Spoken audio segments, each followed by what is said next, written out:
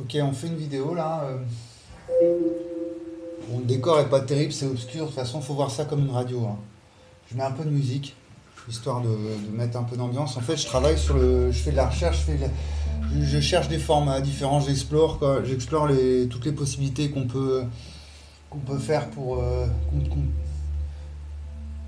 pour, pour avoir des, formats euh, complètement différents, des formats habituels. Donc soit on met juste la face comme ça avec des lumières et j'ai vu des youtubeurs comme ça, des gens, ou même des gens lambda hein, qui, s'expriment euh, librement comme ça pendant une demi-heure, une heure et euh, bon, c'est assez, bon, c'est assez conformiste. ou alors bon, carrément les youtubeurs où c'est très, c'est très cadré.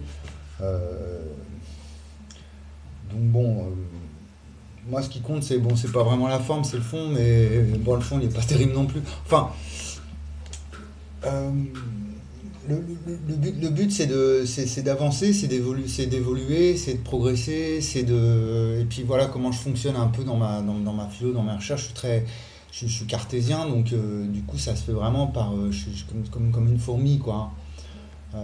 C'est par, par, par petites par, par petites touches ou comme un tableau de, de- d'impressionnisme par, petits coups de pinceau et petit à petit on voit le ciel apparaître ou le- donc euh, je fais plein plein plein de petites vidéos comme ça 10 minutes un quart d'heure Euh, un coup je me balade un coup je suis là je vous parle un coup euh, voilà je vais faire une visite je vais visiter j'ai envie de faire des interviews aussi des, petits reportages des choses comme ça on verra hein. Ce qui manque, c'est, bon, d'une part, je suis tout seul. J'ai très peu de moyens, mais bon, bientôt, là, j'aurai une caméra, j'espère. Enfin, si je suis pas à la rue. Et puis, et puis, euh, bon, je manque de moyens. Donc, euh, euh, là, je vous ai mis. Donc, ouais, on est le 5 décembre. C'est bien. Il faut faut je pense à mettre le- à chaque fois que je, fais une vidéo, il faut que je mette la date. Et puis quand je mets de la musique, bah, je vous dis ce qu'il y a derrière, comme ça aussi c'est bien, ça, ça, ça permet de mettre le. Donc ça c'est euh, euh, Kruger et Duffmeister, c'est euh, Peace Orchestra, c'est un album d'ambiance acoustique, bon. Euh, je suis inquiet parce que je vais, sur, les, groupes euh, anarchistes. euh, je suis inquiet parce que y a, ma, philo, n'est pas du tout passée. En fait. Ça fait 10 ans que je me bats. Bon, à l'époque, j'y croyais énormément, donc j'y suis allé. et puis, il y avait beaucoup plus de. C'était pas les mêmes gens qu'aujourd'hui, je pense. Enfin, il y avait encore des anciens. Il y avait, un conflit entre la, la droite et l'extrême droite. Et bon, là, là on voit euh, un anarchiste qui a partagé les, gilets jaunes avec Zemmour. euh, donc, euh, voilà, toujours les mêmes polémiques. Et puis avec des, slogans réducteurs en fait. Donc ça c'est bien aussi que je puisse par exemple soyons la marée noire qui déferle en France. Donc c'est impressionnant hein, quand on voit les Black Blocs débarquer comme ça, que ça remplit des rues entières à Paris. Moi je suis inquiet, ça me rappelle les chemises noires hein, euh, de, Mussolini. hein. donc euh, euh, nous sommes des citoyens ordinaires, nous défendons l'ordre civil et, et- nous défions, nous défions l'ordre civil et les symboles du capitalisme. S'ils ne se sentent pas menacés, ils nous ignorent. Il ne suffit pas de crier révo- révolution, il faut la faire. Donc euh, j'ai mis juste en commentaire, parce que nous défions euh, les symboles du capitalisme, et j'ai mis en commentaire et l'État. Parce que euh, l'anarchie, bon, voilà, hein, voilà, Bakounine, Dieu et l'État, euh, voilà, on ne peut pas, euh, quand on a une démarche anarchiste, et justement, c'était le conflit entre Marx et, et Bakou que je, je dis avoir résolu en 2011. Et, tout est parti de là. Enfin, même- après, j'ai étudié Deleuze, voilà, j'ai aimé euh, Morin, Deleuze, tout ça, mais, mais c'est vraiment, j'ai passé toute l'année 2011, euh, quasiment, je me souviens, dans mon, dans mon clapier là-bas où j'étais placardisé, euh, j'avais un tout petit appart et j'ai passé la- la- l'année à, à débattre, à, creuser la question de l'anarchie et ce rapport au pouvoir et à l'argent, donc au capitalisme et à l'État. Et un anarchiste, il, euh, il- bien sûr qu'il combat le capitalisme, il, il refuse l'État, hein. il refuse l'autorité de l'État. Alors bon, théoriquement, il refuse toute autorité. Voilà, c'est ça que j'ai construit une axiomatique à l'époque, mais j'avais pas encore fait toute mon axiomatique du, langage, quoi, qui m'a conduit après à la physique et à la, aux mathématiques. J'avais pas encore fait sens, fonction, sens forme, fonction fait, mais c'était c'était bon, l'espace moi-même, monde, le rapport un peu métaphysique à l'espace, moi-même, Et puis, euh, euh, fini qui définit, bon, ça c'est en 2012, c'est vraiment, c'est parti. Et donc à l'époque, par rapport à l'anarchie, c'était la, liberté illimitée. C'était le premier point. Le deuxième point, c'était refus de l'autorité. Pas d'autorité, pas d'origine. Et puis une égalité euh, théoriquement parfaite. Égalité, autorité, égalité, pas d'autorité, pas d'origine et euh, liberté illimitée. Donc, euh, je me suis rendu compte à l'époque, en fait, c'était tellement euh, inaccessible. Quoi. Une liberté illimitée, déjà, voilà. Alors, si, seule la liberté n'a pas de limite. Voilà justement, j'en ai parlé dans la vidéo euh, cet après-midi. Euh, c'est vraiment le, fait de laisser de, laisser aucune limite à la liberté, ça permet toujours justement de contourner euh, un, obstacle quand il se présente à nous et s'il y a un mur, un barrage, une, tyrannie qui s'installe, qu'on soit qu'il y ait toujours suffisamment de liberté pour pouvoir la, la, contourner, au, pire fuir, voilà, l'éloge de la fuite. Euh,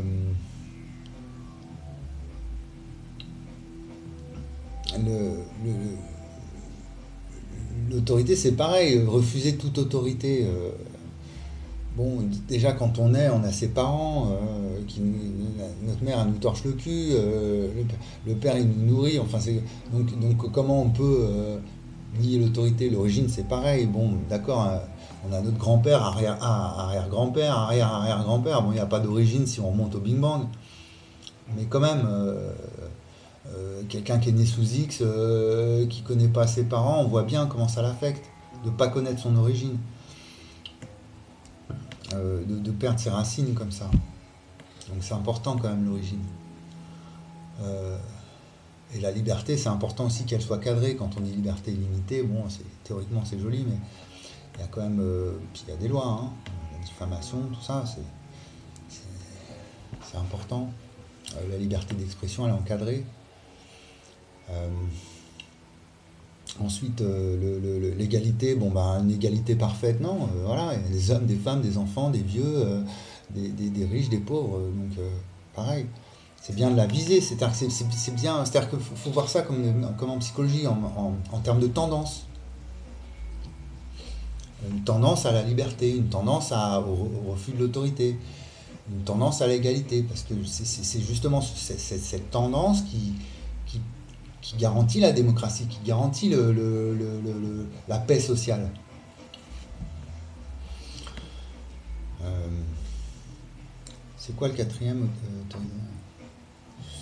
euh, Enfin bon, du coup, je suis inquiet parce que j'arrive pas à débattre de tout ça. Hein. J'écris à la FA plusieurs fois. J'ai j'avais des amis anarchistes, je les ai tous perdus. Euh, j'ai perdu beaucoup, beaucoup, beaucoup d'amis sur ma route, dans ma vie. Et c'est ça qui m'affecte le plus. ne serait-ce que là, il y a tout à l'heure, il y a encore une, amie que j'essaye de défendre en plus, hein, qui est en psychiatrie, qui a été psychiatrisée. En fait, euh, c'est pour ça que j'essaye de comprendre le fascisme au niveau psychologique. Parce que elle est, en fait, on se laisse corrompre. C'est bon, c'est une fille, elle est, fille de CRS, donc on choisit pas ses parents. Hein. Mais et, euh, bon, elle a été en plus, c'est une famille un peu tordue, là, un peu euh, niveau sexuel, je sais pas, elle parle de sexe, de pédophilie, c'est un peu, c'est relou, c'est glauque un peu, mais elle, elle est partie un peu, donc elle est partie loin dans la drogue, euh, les fruits partis, tout ça, et puis ben là, elle est en fauteuil, à 40 ans, et je crois que voilà, elle a trop abusé des, bonnes choses. Elle s'est laissée corrompre. Et puis, bon, là, moi, j'étais en conflit souvent avec elle. Euh, euh, c'est qu'elle elle, mange à tous les râteliers. C'est-à-dire qu'elle va, aller prendre de la cocaïne et en même temps, elle va prendre de la méta euh, pour décrocher de la drogue. Et en même temps, elle va aller voir le, Donc elle, joue, elle joue sur tous les tableaux, autant du côté de l'État que du côté de, la rue, des caïds ou quoi. Donc c'est pas bon, faut pas, faut pas trop non plus se, laisser corrompre et, parce qu'on perd son âme, on perd son, on perd son humanité. Et du coup, bon, euh, bon, moi je suis très sensible, donc je sens, je sens du coup elle m'a raccroché au nez parce qu'elle fuit, euh, elle fuit les questions que je veux, dès que, dès que je, veux, je, veux la responsabiliser en fait, je veux la faire grandir, je veux la faire évoluer. Ça fait 5 ans que je la connais, je vois bien qu'elle est est en train de plonger.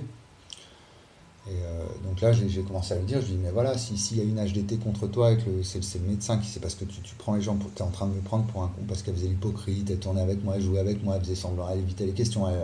ça n'a pas duré longtemps, hein, mais je, la connais suffisamment bien maintenant pour voir quand elle, se fout de ma gueule. Et voilà, et j'avais même pas le temps de, lui, finir de lui expliquer, de lui dire, arrête de prendre les gens pour des coins, elle m'a raccroché le nez. Donc euh, voilà, c'est du, coup, bon, à travers cet exemple, c'est moi ça m'affecte parce que c'est des, gens, c'est mes proches, hein, c'est des gens que j'essaye d'aider en plus. Et, en fait, ça se retourne contre moi, ça me, je me sens trahi, je me sens euh, manipulé. Euh. donc, ce, qui, ce, qui, ce qui est important, c'est de... Parce que parce que voilà, moi j'essaie de travailler en même temps au niveau très collectif, là, quand j'essaie de dialoguer avec des anarchistes, des black blocs euh, sur Facebook, euh, où je leur dis, euh, ouais, l'anarchie sur Facebook, s'il te plaît, voilà, j'ai mis ça genre l'autre jour, enfin hier, et puis bon, là on est en train de s'engueuler sur un groupe que je connais depuis 10 ans en plus, hein, c'est un vieux groupe que je connaissais, et, en fait, bah, avec le temps, 10 ans après, je vois qu'il est, devenu complètement les fondateurs de ce groupe, c'était des vieux anards, et puis bah, aujourd'hui, voilà, il y a plus de. C'est vide. Il y a un vide de, sens, quoi. C'est-à-dire que j'ai pas réussi, à l'époque, avec les anciens anards, j'ai pas réussi à, nouer un dialogue constructif sur ma, sur, philo. Et du coup, bah, comme ils ont réagi comme Étienne Klein et compagnie, ils m'ont bloqué, ils m'ont tourné le dos, les anciens. Et bah du coup, euh, ceux de ma génération ou les plus jeunes qui arrivent derrière, eh ben, ils sont complètement fermés à ce que je pourrais leur apporter. Et, euh, bon, c'est un nihilisme. Hein. Il y, a un vide, un néant d'être là, qui est en train de, qui, est en train de pulluler dans, le, dans, les sphères contestataires en France. Donc, euh, donc voilà, le fascisme, le fascisme, euh, il est où? À gauche, à droite, euh, dans la tête des gens, dans les structures, dans les symboles. Euh.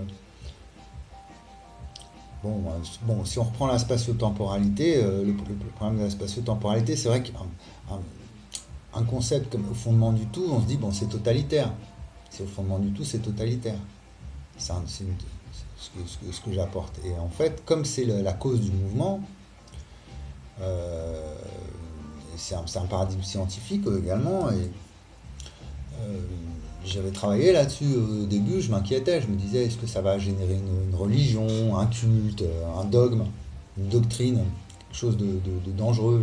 J'avais très peur de ça, je le vivais très mal. Et en fait, je me suis dit non, tu crains rien parce que euh,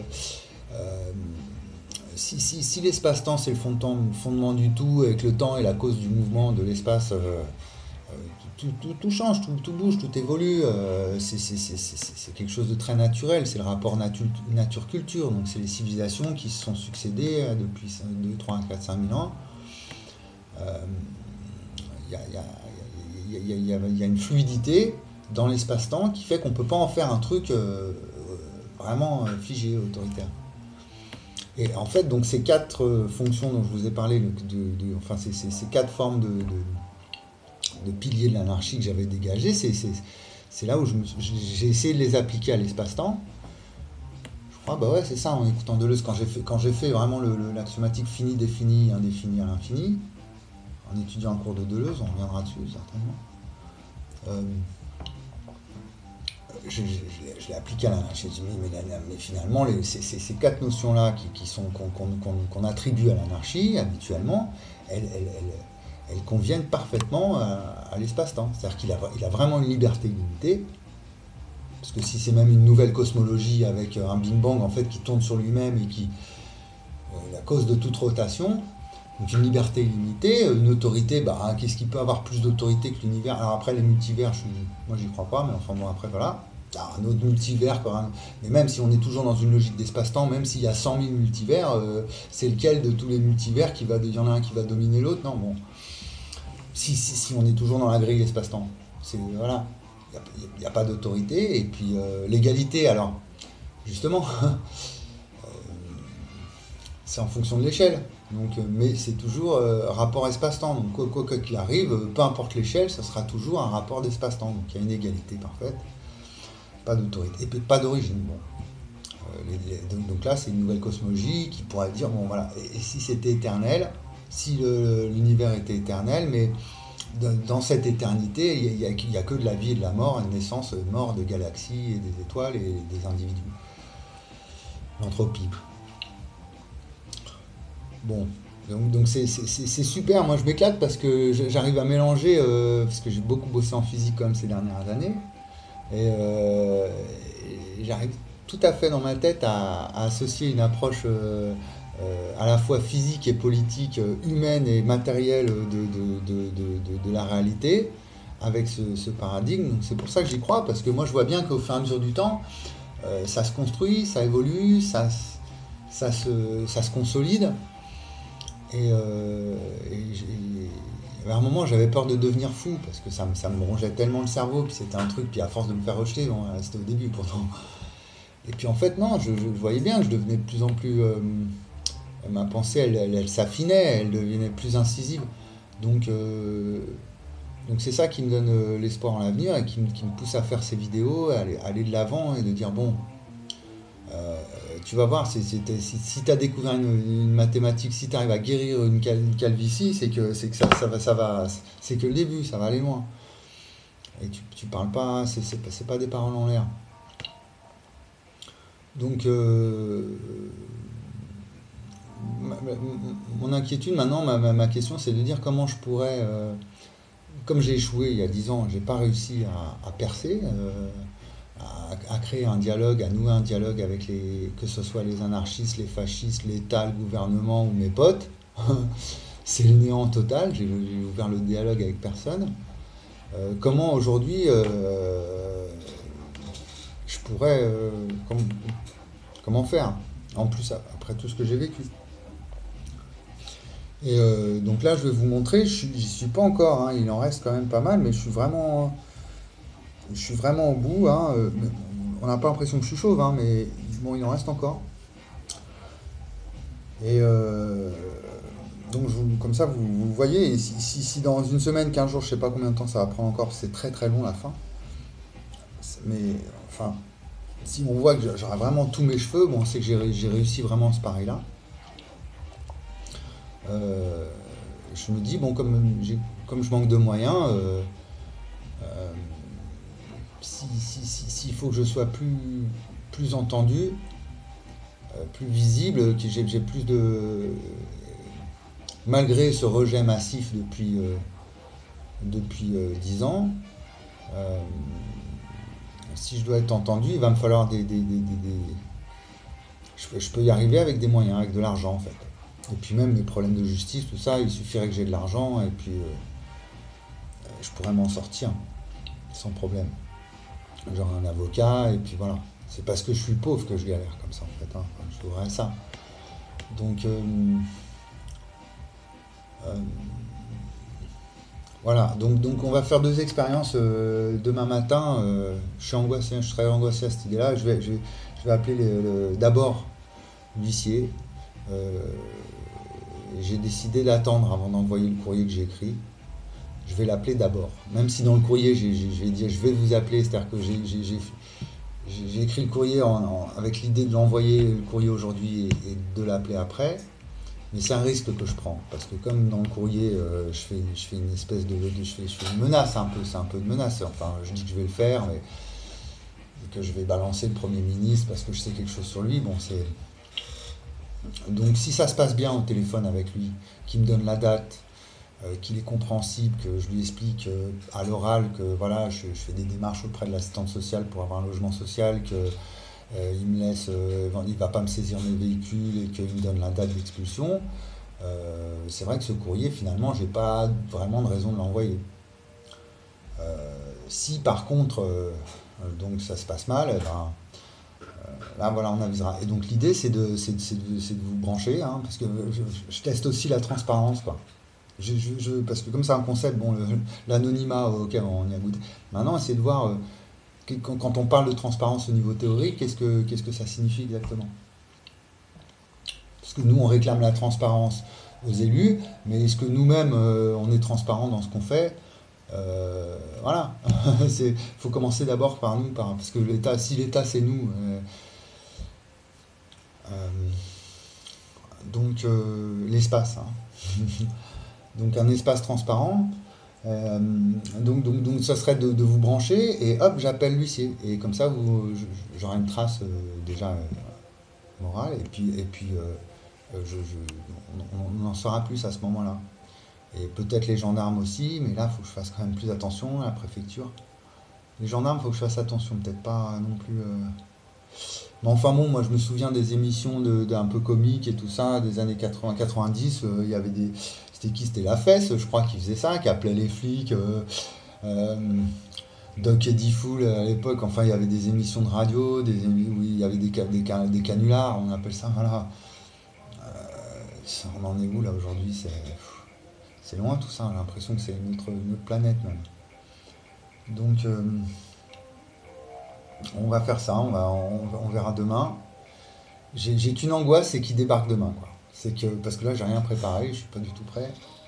Donc là à ce moment-là, je vais bien charger mon portable et si bon par malheur euh, demain 8 h euh, je vous lève parce que ça m'est arrivé, hein, ça fait bizarre hein, quand on voit arriver euh, trois camionnettes de flics, des agents, des élus, des, agents municipaux avec une benne à ordures et hop hop hop. Et, il balance tout comme ça avec un sourire sadique euh, sous tes yeux et toi tu pètes un plomb parce que je suis hyper sensible moi donc euh, je sais pas comment je réagis après je perds mes moyens je me mets à trembler j'arrive plus à donc euh, donc c'est tout ce que je redoute quoi c'est que demain matin ils viennent pas me réveiller à 9h parce que c'est pour ça que je veux pas envoyer le courrier aussi parce que je me dis si ça se trouve ça va les ça va accélérer le processus donc faut que je sois prudent quand même et c'est là où je dis des fois bon je suis pas je fais des petites stratégies, je contourne un petit peu, je fais des, petits, des, petites magouilles, mais c'est jamais bien, jamais bien loin. Donc, euh, on va l'appeler demain matin, on en saura plus. Et puis, euh, après, l'idée, ce serait d'appeler un banquier, carrément. D'aller voir les, bah, l'État et le capitalisme. Hein. donc, l'État, c'est d'essayer de les bloquer, de leur dire non, non, vous, respectez mon espace. Quoi. Je, suis un être humain, je dis j'ai droit à l'espace. C'est comme ça que je, refonde le, droit, le droit à l'espace et au temps. Donc on va faire ça, on va faire une expérience euh, sociale, euh, politique. On va essayer de réclamer notre droit à l'espace et notre droit au temps, donc le temps, le capitalisme, donc le droit, le droit à un revenu, le droit à l'argent, à recevoir une. surtout si, si je guéris une calvitie. Et le droit à l'espace, c'est-à-dire que bon, euh, je suis quand même un, intellectuel, un artiste, euh, je, fais, des sciences, je fais des découvertes, euh, d'où je me retrouve à la rue en pleine hiver comme ça en plus. Depuis deux ans, cette nouvelle loi, avant ça se faisait pas. Donc on va réclamer notre droit à l'espace, et puis au niveau, au niveau du banquier, ça serait d'appeler un banquier, ou plusieurs, ou je sais pas, ou de, prêt, hein, une société de prêt bancaire, et puis euh, je leur dis, je leur dis, bah voilà, j'ai réussi à guérir de la calvitie. Euh, en plus, ça m'a, c'est, une découverte euh, médicale qui, pourrait venir en aide à plein, plein, de gens. Du coup, il faut que je développe un, procédé, il faut que je puisse en parler aux médecins, aux scientifiques, il faut que je puisse faire des rapports, que je travaille avec eux pour leur expliquer comment j'ai, comment j'ai réussi cet exploit.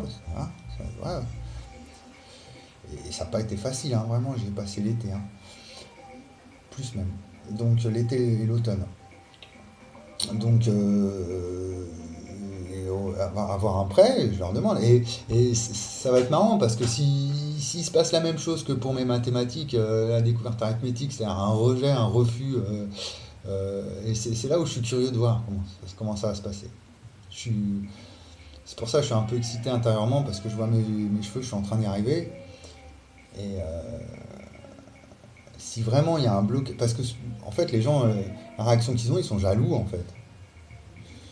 Ils disent ouais pourquoi toi tu, euh, nous non, euh, pourquoi Donc essayer de voir si, la mauvaise foi, elle va ju- jusqu'où elle peut aller en fait. Qu'il y ait une mauvaise foi du, du- du, côté des scientifiques, d'accord, mais, est-ce que ça irait jusqu'au point où tout ça parce que le mec il est un narco, euh, je sais pas quoi, euh, voilà, et- je sais pas, il est trop, euh, il est pas assez conforme, conforme à la norme, bah même si, même s'il arrive à, guérir de ses cheveux, on va, on va le laisser encore euh, dans l'isolement. Je suis curieux de voir ça, jusqu'où ils peuvent aller dans leur négationnisme. Et euh, le terme est un peu dévié parce que c'est pour l'histoire logiquement négationnisme, et là je l'ai un petit peu, euh, mais finalement euh, ça se recoupe quoi. C'est bon, c'est un nihilisme, voilà, c'est tout se vaut, tout est égal, donc c'est lié aussi. Car que ils, font un, lissage, quoi, un peu, c'est un désert. Et puis le, le fait de nier, nier l'évidence, quoi. Euh, voilà. Donc on, va voir comment ça se passe, et puis si, j'arrive à gagner, un peu d'argent euh, et puis à, garder le, squat encore pour l'hiver, et ben là on pourra faire quelque chose de correct avec cette, euh, web TV. bien que ce n'est pas la panacée, hein, YouTube pour moi c'est pas vraiment le. Ça reste, on est, on est dans, le cadre des GAFAM, mais c'est pas, pas avec YouTube que je vais. mais bon, comme, comme, comme, euh, ma philosophie, elle est, c'est, le 21e siècle, donc elle est, on, s'élance comme sur une piste de, décollage. euh, donc un avion, pour décoller, il faut... Donc euh, hop, moi je pars sur 2023, 2025, 2030, euh, voilà. Je suis dans cette, dans cette optique-là. hein. Je fais ça pour les jeunes et voilà, pour les générations à venir mais en respectant le- les générations passées. C'est ça qui est pas évident. Voilà l'espace-temps. 27 minutes. Bon, c'est de blabla. hein. À plus tard.